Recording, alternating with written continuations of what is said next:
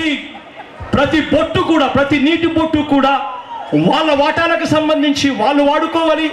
మన వాటాలకు సంబంధించి మనకు కిందికి పంపించాలి.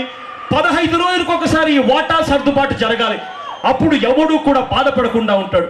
కానీ అలా చేయకుండా పైన నీళ్ళు మా దగ్గర నుంచే వస్తాయి. కాబట్టి నీళ్ళు మా ఇష్టం వచ్చినట్టు మేము వాడుకుంటాం.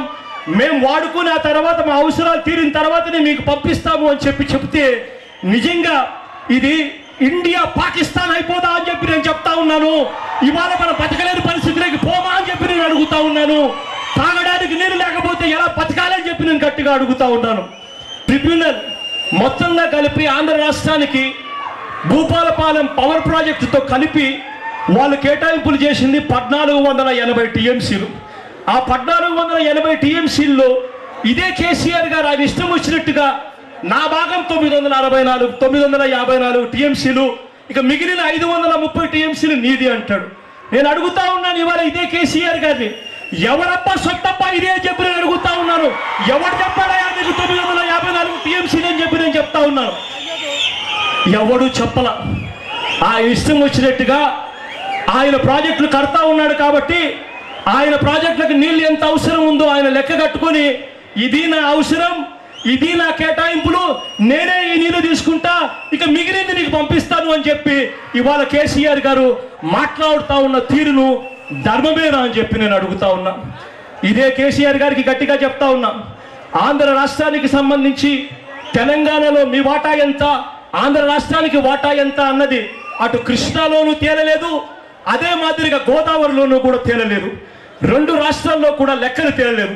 లెక్కలు తేలినప్పుడు కేవలం ఈ నదులు మీ ద్వారా వస్తూ ఉన్నాయని చెప్పి కేవలం మీ అవసరాలు తీరిన తర్వాతనే మా మీ మా అవసరాలకు మేము పంపిస్తాము అని చెప్పి మీరు హిట్లర్గా మాట్లాడడం హిట్లర్ మాదిరిగా మాట్లాడడం భావ్యం కాదు అని చెప్పి నేను కేసీఆర్ గారికి చెప్తా ఉన్నా. కేసీఆర్ గారికి జ్ఞానోదయం రావాలి అదే మాదిరిగా చంద్రబాబు నాయుడు గారికి జ్ఞానోదయం రావాలి.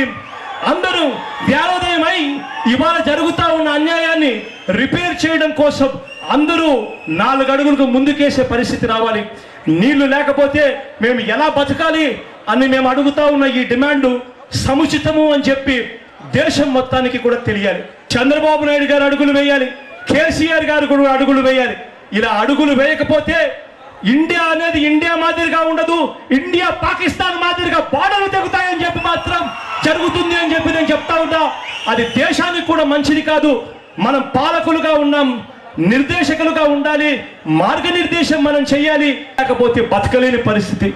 బ్రహ్మంగారు అప్పుడు ఎప్పుడో చెప్పారు నీళ్ళ వల్లనే యుద్ధాలు జరుగుతాయని చెప్పి. నిజంగా ఇవాళ కేసీఆర్ గారి పాలన చూస్తూ ఉంటే నిజంగా నీళ్ళ కోసమే యుద్ధాలు జరుగుతాయేమో అని చెప్పి నిజంగా కూడా భయాందోళన కలిగించే విధంగానే ఇవాళ జరుగుతూ ఉన్నాయి ఈ పాలన. ఇదే ఆంధ్ర రాష్ట్రం పైనుండి తెలంగాణ రాష్ట్రం కిందుండి మేమే ఆంధ్ర రాష్ట్రంలో మేము పైన ఉన్నాం కదా అని చెప్పి మేము నీళ్ళు ఆపేసి ఉంటే తెలంగాణలో మీరున్న వాళ్ళు మీకు నచ్చేదే అని చెప్పి నేను అడుగుతా ఉన్నా. ఇదే కేసీఆర్ గారిని